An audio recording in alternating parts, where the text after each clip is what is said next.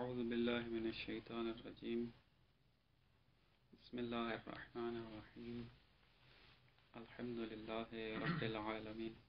بات ہماری آج سے فصل ہشتم میں ہے. ہشتم، آٹھویں فصل میں. ہفتوں بھی پڑھی ہے پچھلی بات ہماری ہفتوں میں تھی. یہ جو زبان دینی، یہ فصل ہفتم میں تھی.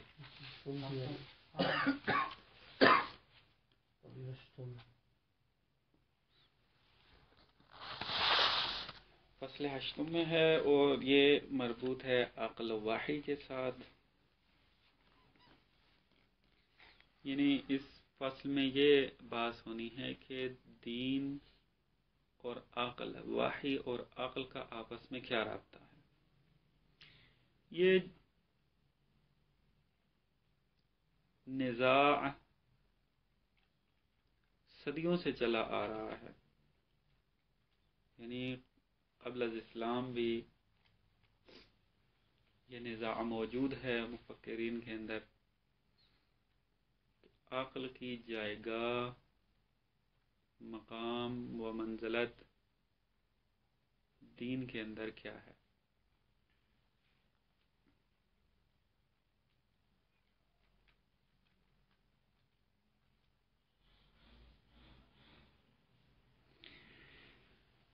مثلا یہ صاحب کتاب نے جو سوال مطرح کیا، اس طریقے سے سوال مطرح ہوتا ہے۔ آیا دادا یہ عقل بشری با معارف وحیانی سازگارند یعنی عقل کی جو مدرکات ہیں عقل کے ذریعے جو چیز آپ درک کرتے ہیں، وہ وحی کے ساتھ سازگار ہیں یا نہیں ہیں؟ یعنی جو کچھ آپ عقل کے ذریعے درک کرتے ہیں، دین بھی وہی کہتا ہے یا نہیں؟ آیا خیرت ورزی و دین بابری با یک دیگر کنار می آیند. یعنی آیا عقل تعقل کرنا، عقل کو استعمال کرنا، اور دین باوری یعنی دینی اعتقادات رکھنا، دین کا معتقد رہنا، یہ آپس میں جم ہو سکتے ہیں نہیں ہو سکتے؟ مثلا آپ پڑھیں گے ابھی غربیوں میں ایک نظریہ، یہی ہے کہ ایمان اور عقل یہ آپس میں جام نہیں ہو سکتے، ایمان مقدم ہے عقل کے عقل کو اگر لیں گے تو آپ ایمان پر کی منزل پر نہیں پہنچ سکتے۔ یہ ہم پڑھیں گے۔ لہذا یہ سوال اس کی طرف ناظر ہے کہ آیا عقل ورز خیرت ورزی یا عقل ورزی دین باوری کے ساتھ سازگار ہے؟ یعنی جم ہو سکتی ہے یا نہیں ہو سکتی؟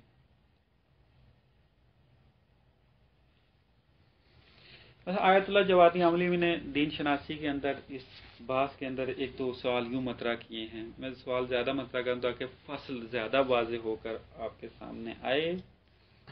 یوں سوال مطرح کیے ہیں۔ آیا عقل در قلم روئے دین و ناقل و شریعت جائے گاہی دارت یا نہ؟ یعنی عقل کا عقل کو منزلت ہے دین کے اندر؟ کوئی نقش ہے دین کے اندر؟ یا نہ؟ اگر جائے گاہی دارت آن جائے گا کجاز اگر اس کا کوئی مقام ہے دین کے اندر تو وہ مقام کہاں ہے؟ آیا عقل ہمتا دین است یا قابل یا بعد از دین است؟ یعنی آیا ہم عقل سے، عقل کا مقام اگر ہے دین کے اندر، تو اس سے استفادہ کرنا جو ہے، وہ فقط قبل از دین جائز ہے یا نہ بعد از دین؟ یعنی دین میں آنے کے بعد اس سے استفادہ جائز ہے یا نہ؟ جہاں بھی دین ہے، جتنے بھی اعتقادات دینی ہیں، اس کے اندر عقل استعمال کر سکتے ہیں۔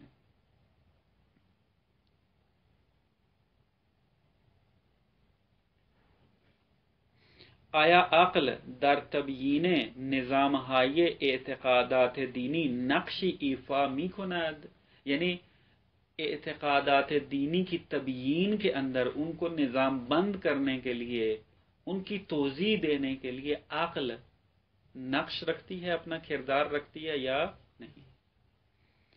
آیا عقل مقدم بر ایمان آس یا ایمان مقدم بر عقل؟ جیسا کہ وہ کتاب صاحب کتاب نے جو سوال مطرح کیا تھا، اس کو اس طریقے سے سری انہوں نے یہاں بیان کیا کہ آیا ایمان مقدم ہے یا عقل مقدم ہے؟ یعنی آیا داشتن ایمان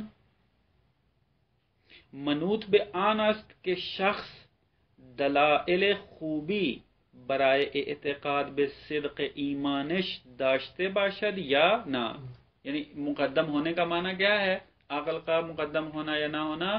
یعنی آیا جو وہ ایمان و اعتقاد رکھتا ہے، اس کے اوپر دلائل عقلی بھی رکھتا ہے یا نہیں؟ جو کہے گا کہ ایمان مقدم ہو کہتے دلائل عقلی کی ضرورت نہیں۔ جو کہے گا کہ عقل مقدم ہو کہتا ہے، نہیں، دلائل عقلی کا ہونا بھی ضروری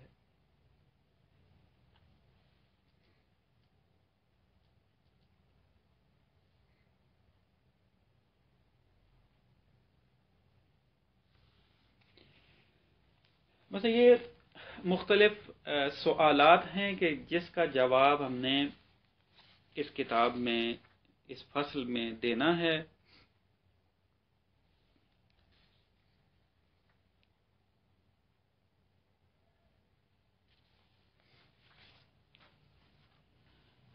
اور بحثیں بھی انتہائی یعنی اہمیت کی حامل ہیں اس فصل کی بھی، کیونکہ یہ سوال ابھی بھی بہت جدیت کے ساتھ ذکر ہو رہا ہے اور پوچھا جاتا ہے۔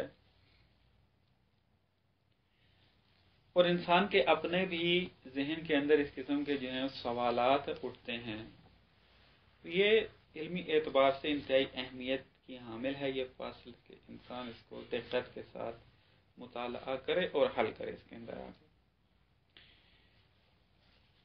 یہ جو تعارض عقل و واحی کی جنگ ہے، یہ بعد میں کہ جب فلسفہ یونان سے ترجمہ ہو کر اسلام میں داخل ہوا، تو یہ جنگ بدل گئی کس کے اندر؟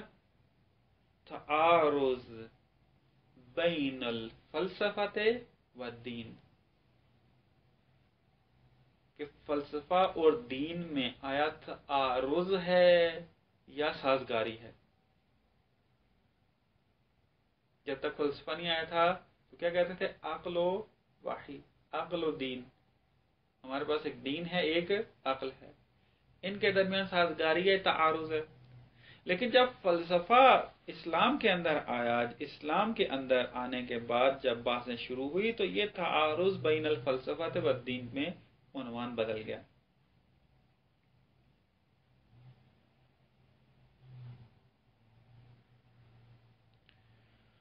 جو تعارض کے قائل ہوئے، حتیٰ اس حد تک تعارض کے قائل ہوئے کہ کلام اور منطق کو بھی حرام سمجھنے لگے۔ مثلا غزالی، اس نے باقاعدہ علم کلام کی حرمت کا فتوا دیا ہے اور ثابت کیا اس میں۔ اسی طریقے سے علم منطقی حرمت کے اوپر ابن تیمیہ نے ایک پوری کتاب لکھی ہے جو وہابیوں کا پدر ہے۔ ہاں؟ نہ غزالی نے علم کلام کے بارے میں۔ اور ابن تیمیہ نے منطق کے بارے میں پوری کتاب لکھی ہے۔ اس کا نام یہ رکھا ہے اس نے اہل النصیحت و اہل الایمان فی رد علی منطق یونان۔ منطق کے اوپر رد لکھا ہے اس نے۔ اور آج بھی ایک گروہ موجود ہے جو علم منطق کے اوپر رد کرتا ہے۔ یعنی کچھیوں کے اندر حضل میں قوم کے اندر اور حضل میں نجف کے اندر ایک گروہ موجود ہے کہ جو منطق کا بھی منکر ہے۔ منطق کو بھی رد کرتا ہے اور کتابیں لکھی ہیں۔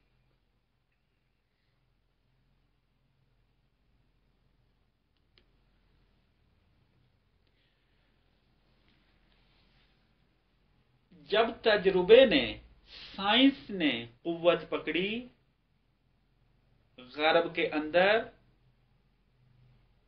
تو سائنس نے جب اوج پکڑا اور لوگ اس کی طرف تمایل پیدا کرنے لگے، تو اس جنگ کا نام پھر کیا بن گیا؟ علم و دین۔ تعارض علم و دین۔ علم، جب بھی آپ کلام میں پڑھیں، تو علم سے مراد سائنس ہوتی ہے، تجربی علوم۔ سائنس کا ترجمہ یہ کیا کرتے ہیں؟ علم. پڑا علم اور علم و دین. کیونکہ وہ علوم تجربی سے استفادہ کرتے تھے اور دین بھی رکھتے تھے. مثلا دیندار میں مسیحی ہیں یہودی ہیں اور اس طرح. پھر وہاں یہ بات شروع ہو گئی ان کے اندر کہ علم و دین کے اندر سازگاری ہے یا تعارض ہے؟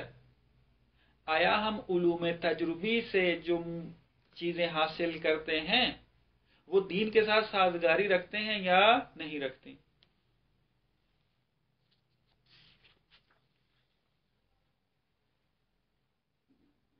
یہاں پر آگر بعض نے علوم تجربی کو مقدم کیا ہے، بعضوں نے آگر کہا کہ دین مقدم ہے اور اس طریقے کے مختلف نظریے پائے جاتے ہیں اور علم و دین کی بات آج کل بھی بہت مفصل صورت میں مطرح ہے۔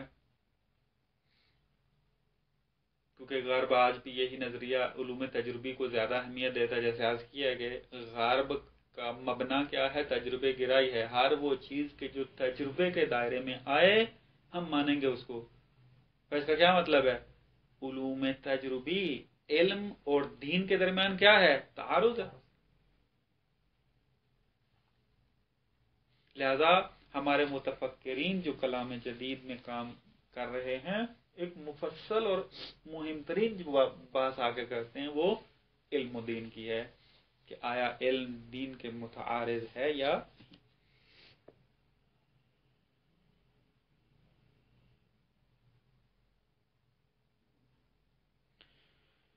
اس کے بعد پھر باس میں وارد ہوتے ہیں صاحب کتاب، اصطلاح شناسی میں اور اچھا کام کیا ہے انہوں نے کہ قبل اس کے کہ ہم بحث اپنی شروع کریں نظریات کو بیان کریں، ہم اصطلاح شناسی کرتے ہیں کہ مثلا یہ جو عقل و وحی، عقل و نقل، عقل و دین، ایمان و تعقل، دین و فلسفہ، علم و دین، مثلا یہ تعبیریں جو استعمال ہو رہی ہیں، ان میں ان سے مراد کیا ہے؟ عقل سے کیا مراد ہے؟ علم سے کیا مراد ہے؟ عقل و وحی سے کیا مراد ہے؟ مثلا اس طریقے سے یہ مختلف جگہ عقل و فلسفہ، دین و فلسفہ سے کیا مراد ہے؟ یہ بیان کریں گے اس کے اندر۔ پہلی اصطلاح جو یہاں پر ذکر کرتے ہیں وہ ہے عقل و واحی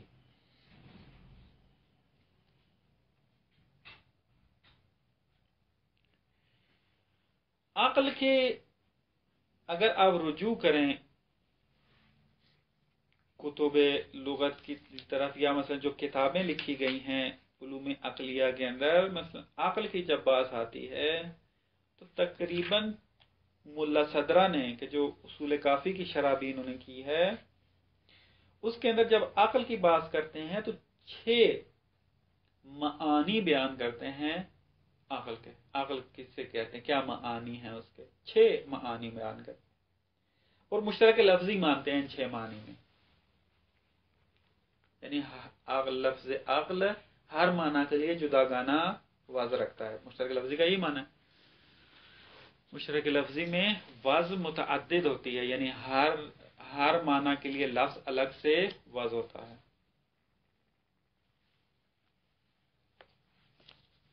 اور اگر غربیوں کو آپ متوجہ کر لیں یعنی ان کے انہوں نے جو عقل کے معانی کیے ہیں، اگر ان کو ساتھ ملا لیں تو پھر چھ معانی سے کہیں زیادہ جو ہے یہ تجاوز کر جائے گا۔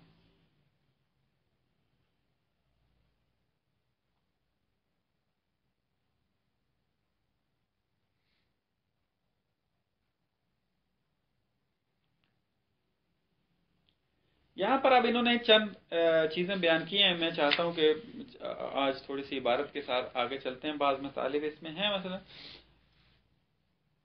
فرماتے ہیں کہ آدمی برائے قصب آگاہی راہ گناگونی پیش روئے خود دارت انسان اگر علم کو قصب کرنا چاہتا ہے، تو قصب علم کے لیے مختلف راستے ہیں اس کے سامنے۔ کہ برخیاز آنہا عمومی است بعض راستے عمومی ہیں۔ وہ کم و بیش ہمیں افراد بشر از ان بہر ماندن۔ یعنی ایسے راستے پر چل کے علم حاصل کرتا ہے کہ تمام انسان اس کے پیچھے چل سکتے ہیں۔ یعنی اس راستے سے چلیں تو علم حاصل کر سکتے ہیں۔ مثلا مثال لے لیں، علم حاصل کرنے کے جو آج طریقے موجود ہیں، اکثر کیا ہیں؟ عمومی ہیں۔ مدرسے میں جانا، کتابیں پڑھنا۔ اور اس طریقے کے مختلف علوم حاصل کرنا اور جس طرح آگاہی اور تجربے کے ذریعے حاصل کرنا اور اس قسم کی مختلف طریقے جو ہیں۔ لیکن اما ادیان وحیانی ازراہ اختصاصی نے سخن نہیں گویا دین نے آ کر بیان کیا کہ علم کا اقتصاب ان رہائی عمومی میں مختص نہیں ہے، لیکن ایک خاص طریقہ بھی ہے۔ وہاں سے بھی علم کسب ہوتا ہے۔ اور وہاں سے جو علم آتا ہے وہ برتر ہے۔ علم وہ کون سا؟ وہ واحی ہے۔ کہ در اختیار گروہ اندکی از انسان ہاس۔ وہ راستہ کیا ہے؟ فقط بعض لوگوں کے ہاتھ میں۔ مطلب انبیاء کے ہاتھ میں۔ فقط و دیگران بے صورت مستقیم توان بہرگیری از آن را نظرن وہی سے استفادہ فقط انبیاء کر سکتے ہیں۔ مستقیما باقی انسان اس سے استفادہ نہیں کر بس اب نتیجہ نکل جائے گا۔ یہ مقدمہ میں نے کیوں پڑھا ہے؟ اس کے لیے۔ یہاں پر عقل و وحی جب کلام جدید میں آپ عنوان استعمال کریں گے تو عقل اور وحی سے کیا مراد ہے؟ یہ مراد ہے۔ در مباحث کلام جدید، گاہ مقصود از عقل۔ عقل سے مراد کیا ہوگی؟ ہمیں معرفی کے۔ از راہ یہ ہمگانی قصب معرفت حاصل آئند یعنی تمام ان معارف و علوم کے اوپر عقل کا اطلاق ہوگا کہ جو کہاں سے حاصل ہوں؟ راہی عمومی سے۔ یعنی ایسے راستے سے کہ جس سے تمام لوگ علم حاصل کر سکتے ہوں، ان راستوں سے اگر علوم حاصل ہوئے ہوں گے، ان علوم کو عقل کا نام دیا جائے۔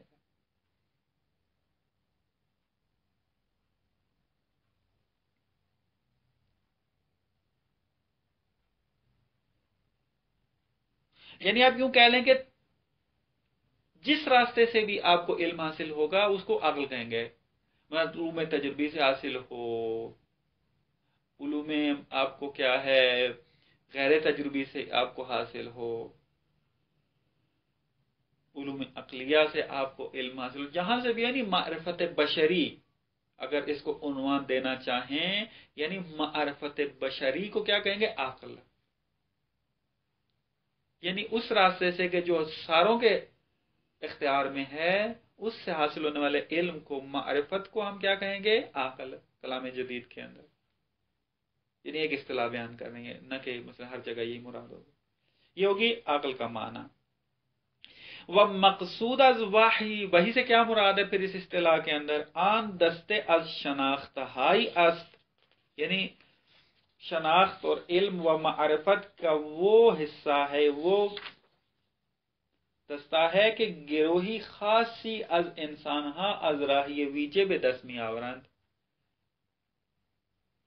انسان خاص، راستہ خاص سے، راہ خاص سے جس علم کو حاصل کرے، اس کو وہی کہیں گے۔ بس عقل راہ عمومی سے حاصل ہوگی اور وہی جو ہے وہ راہ خاص ہے۔ اس کو وہی کہیں گے جو معارف اور علم ہمیں وہاں پر حاصل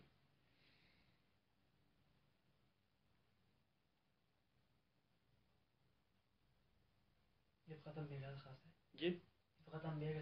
یہ انبیاء کے ساتھ خاص ہے۔ اور ابھی انبیاء کا نام نہیں لے رہے اصطلاح کے طور پہ استعمال کر رہے ہیں اس کو مثلا عقل وہ ہے کہ جو ان راستوں سے حاصل ہو، نہ، ان وہ ان معارف کو عقل کہیں گے کہ جو راہی عمومی سے حاصل ہوں، اور وہی ان معارف کو کہیں گے کہ جو راہی خاص سے حاصل ہو، انسان خاص، راہ خاص سے حاصل کرے، وہی انبیاء کی طرف چلا ہے۔ اس کے بعد دوسری اصطلاح جو یہاں پر ذکر کیا، وہ عقل و دین کی ہے۔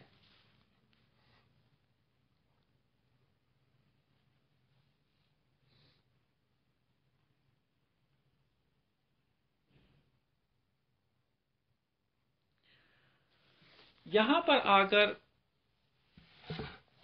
عقل و دین مطلب واضح ہے، پیچھے بیان ہو گیا، عقل سے کیا مراد ہے اور وہی وہی دین ہی ہے۔ لیکن یہاں پر ایک باس موجود ہے، وہ یہ کہ آیا یہ تعبیر کرنا کہ عقل و دین، یہ تعبیر درست ہے یا درست نہیں ہے۔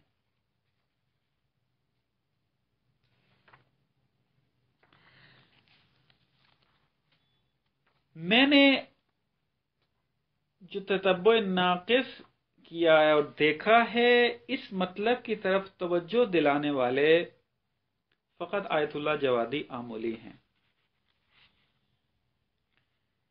یعنی اس سے پہلے کسی بزرگوار کو نہیں دیکھا کہ جو اس نقطے کی طرف توجہ دلائیں۔ وہ کیا ہے؟ وہ یہ کہ عقل عقل و دین کی تعبیر کرنا درست نہیں ہے۔ کیوں؟ اس سے مطلب یہ سمجھ میں آتا ہے کہ عقل مقابل دین ہے۔ جب آپ کہہ رہے ہیں کہ ایک ہمارے پاس عقل ہے اور پھر دوسری طرف سے کہتے ہیں ہمارے پاس کیا ہے؟ دین ہے۔ تو اس کا مطلب کیا ہے کہ عقل دین سے جدا ہے۔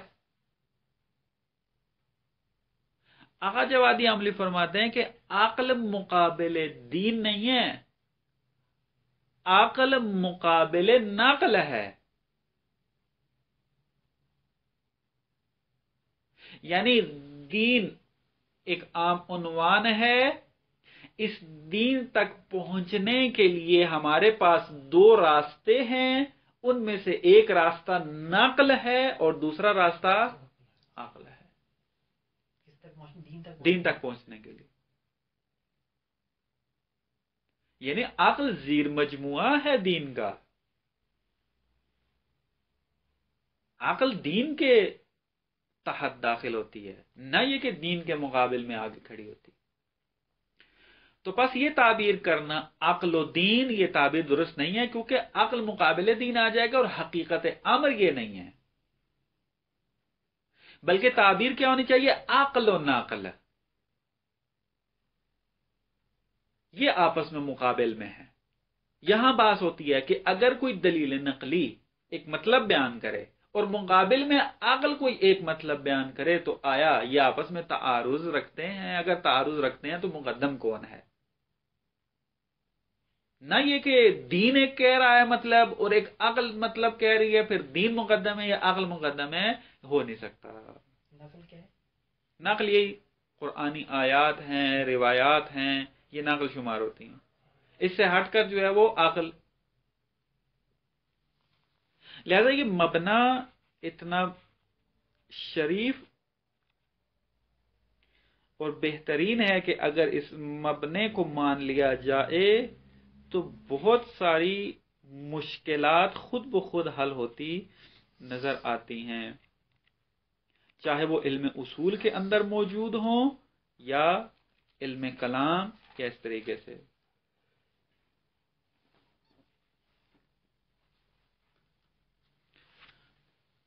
پر یہ ایک تذکر اور ایک آغا نے اس مطلب کو ثابت کرنے کے لیے آج اللہ چوادی عاملی نے اپنے اس مبنے کو ثابت کرنے کے لیے ایک مفصل کتاب لکھی ہے کہ جو بہت ہی زبردست کتاب ہے، مطالعے کے قابل ہے۔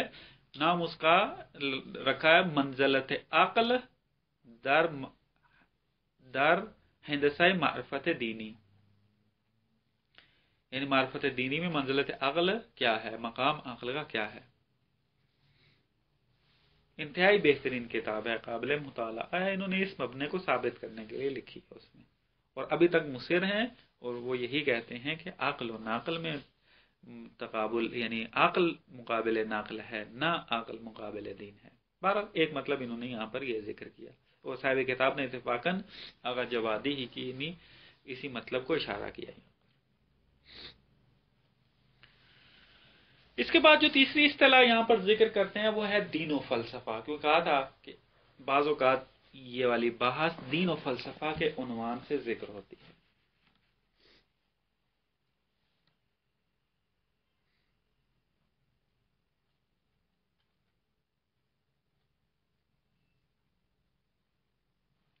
یہاں پر آ کر بعضوں نے بعض قائل ہوئے ہیں، جیسا کہ ایک بہت بڑا گروہ یہاں، حوضہ علمیہ میں موجود ہے، حوضہ علمیہ نجف میں، تمام حوضہات میں موجود ہے، تاریخ کے اندر موجود رہا ہے۔ وہ یہ کہتا ہے کہ فلسفے کے معارف مقابل مبین و متعارض دین ہیں۔ لہذا فلسفہ دین کے اندر کوئی نقش نہیں رکھتا لیکن مقابل میں ایک گروہ ایسا بھی موجود ہے جو آ کر یہ ادعا رکھتا ہے کہ فلسفہ کے مدرکات، فلسفہ سے حاصل ہونے والی معرفت اور دین کی معرفت میں سازگاری موجود ہے۔ مثلا سب سے پہلے جس نے یہ کام کیا ہے، وہ انسان ہے کہ جس نے یونان سے فلسفے کو اسلام میں عربی میں ترجمہ کیا ہے وہ ہے یعقوب بن اسحاق کندی۔ یعنی آئمہ کے زمانے میں یہ زندگی کرتا تھا۔ اور اس نے بنو عباس کی حکومت میں ان کے کہنے پر کیا کیا ہے؟ فلسفہ یونان کو عربی میں ترجمہ کیا ہے۔ یعقوب بن اسحاق کندی۔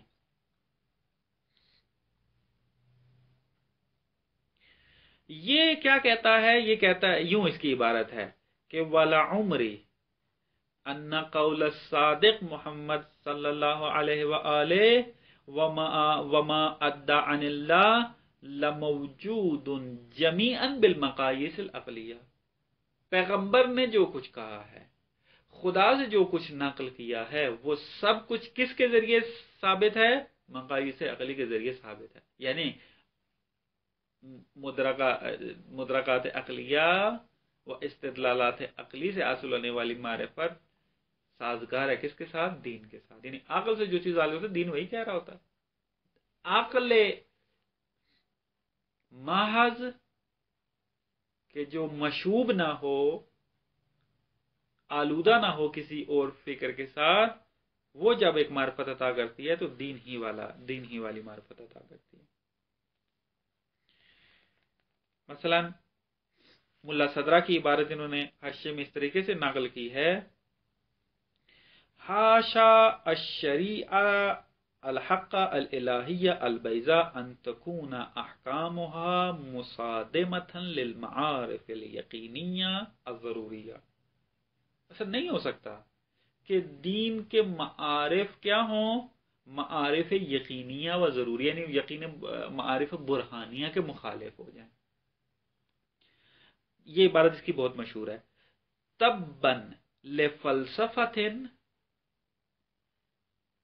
یعنی تبن فلسفے تبن مذمت کے لیے آتا ہے۔ یعنی ایسے فلسفے کی مذمت ہے، ایسے فلسفے پر مفہومی معنی کروں تو ایسے فلسفے پر لانت ہے کہ تکون قوانین غیر مطابقت للکتاب و سننا کہ جس کے مضامین، جس کے معارف، جس کے قوانین کتاب و سنت کے مطابق نہ ہو، تب من لے فلسفہ ایسے فلسفے پر وائے ہو، ایسے فلسفے پر لانت ہو۔ اس عبارت سے کیا بیان کرنا چاہتے ہیں؟ یہ کہ فلسفہ دین کی خدمت میں ہے۔ فلسفے سے حاصل ہونے والے معارف دینی معارف ان کے درمیان کوئی تعارض موجود نہیں ہے۔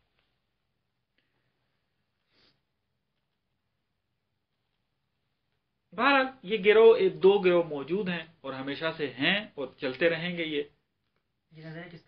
یہ ہاں؟ نہ یہ جو آخری بارت پڑی ہے یہ ملا صدرہ کی ہے۔ یعقوب کندی کی پہلے پڑی تھی۔ بہرحال یہ ایک دین و فلسفہ کی تعبیر میں اس طریقے سے آ کر بیان کرتے ہیں۔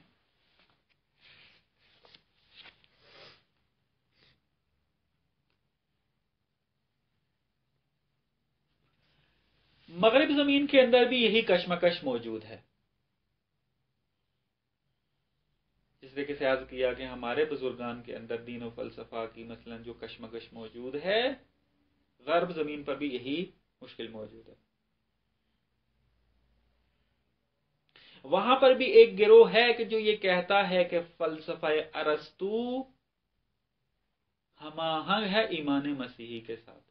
لیکن ایک گروہ کہتا ہے کہ نہ، ایمان مسیح کے ساتھ ساتھ کار نہیں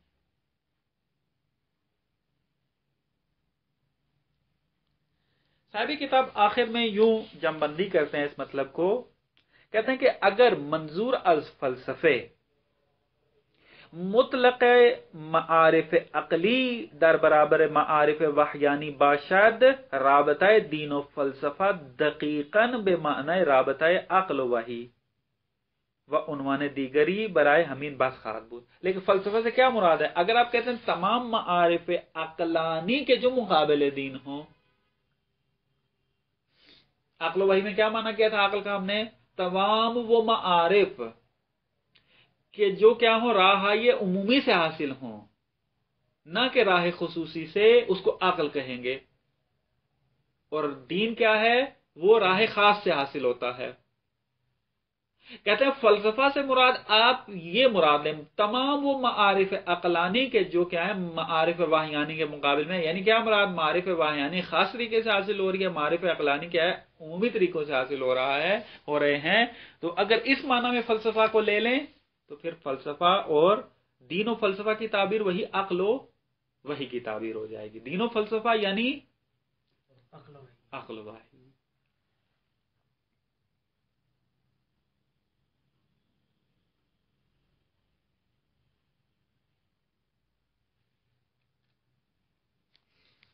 اور اگر آپ کی مراد یہ نہ ہو، تو پھر کیا ہے؟ یہ ایک الگ عنوان بن جائے گا۔ نہ کہ اسی عنوان کے ذیل میں یا وہی عنوان بن جائے گا، بلکہ ایک الگ بات ہو جائے گی کہ جو مترا ہوگی آخری بات جو یہاں پر انہوں نے ذکر کیا اصطلاح شناسی کے اندر، وہ علم و دین کی تعبیر ہے، کہ جو عرض کیا کہ اب بھی آب و تاب کے ساتھ جو وہ ذکر ہو رہی ہے۔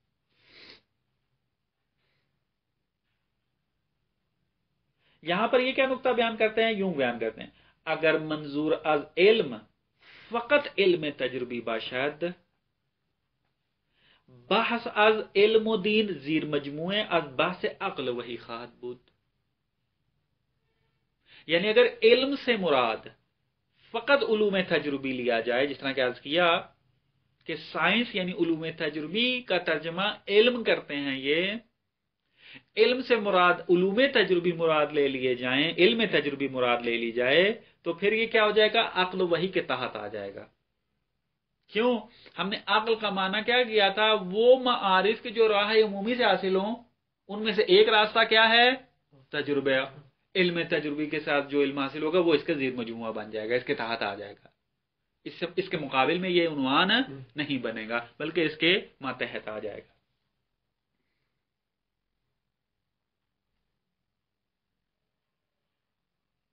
لیکن اگر علم کا معنی ہم کیا کریں؟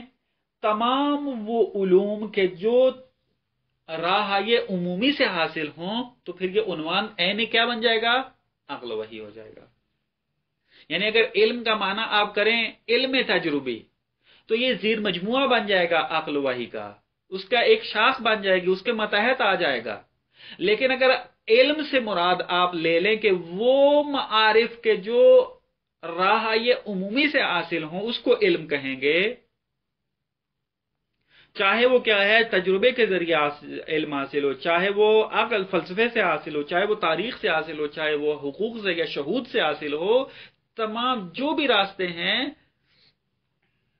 ان سے حاصل ہونے والے معارف کو علم کہتے ہیں، تو پھر یہ عین عقل و وہی کا عنوان بن جائے گا۔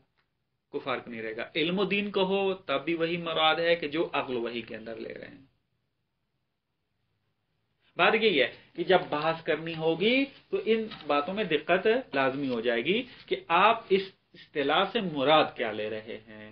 عقل و فلسفہ، عقل و وحی میں کیا مراد ہے؟ دین و فلسفہ میں کیا مراد ہے؟ علم و دین میں کیا مراد ہے؟ یہ اصطلاح شناسی انہوں نے اس لیے ذکر کیا تاکہ جب بھی بحث کہیں پڑھیں یا ہو،